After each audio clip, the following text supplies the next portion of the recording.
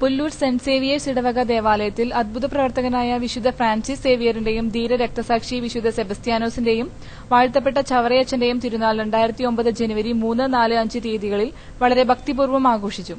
തിരുനാൾ ദിനം ആഘോഷമായ ദിവ്യബലിക്ക് ഫാദർ വിജു കോലങ്കണ്ണി നേതൃത്വം നൽകി. വൈകിട്ട് മൂന്ന് മണിക്ക് മുത്തുകുടകളുടെയും വാദ്യമേളങ്ങളുടെയും അകമ്പടിയോടെ വിശുദ്ധന്മാരെ ആനയിച്ചുകൊണ്ടുള്ള നയനമനോഹരമായ തിരുനാൾ പ്രദക്ഷിണം തിരുനാളിന്റെ സമാപന ആശീർവാദമായി. കണ്ണിനും കാതിനും കുളിർമയേകുന്ന കരിമരുന്ന് പ്രയോഗവും ഉണ്ടായിരുന്നു.